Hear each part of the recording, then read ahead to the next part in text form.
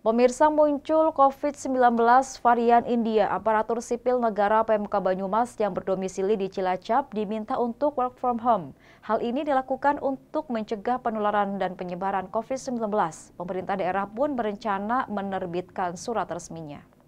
Lagi eh, viral ya, ada eh, Aparatur sipil negara ASN pemerintah Kabupaten Banyumas yang berdomisili di wilayah Kabupaten Cilacap diminta work from home untuk sementara waktu. Hal itu untuk mengantisipasi penyebaran COVID-19 B1617.2 atau varian India yang terdeteksi masuk Cilacap melalui 13 anak buah kapal asal Filipina. Sebaliknya, aparatur sipil negara pemerintah Kabupaten Cilacap yang berdomisili di Banyumas juga diarahkan untuk WFH. Namun untuk keputusan tersebut menunggu koordinasi dengan Sekda Cilacap. Surat resminya masih dikoordinasikan untuk ASN pemerintah Kabupaten Cilacap yang berdomisili di Banyumas antar sekda sedang berkoordinasi agar diperbolehkan WFH.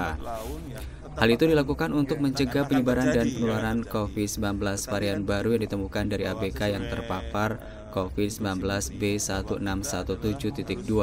Masyarakat juga dihimbau untuk selalu mematuhi protokol kesehatan dengan mencuci tangan dengan sabun, menggunakan masker, dan menjaga jarak.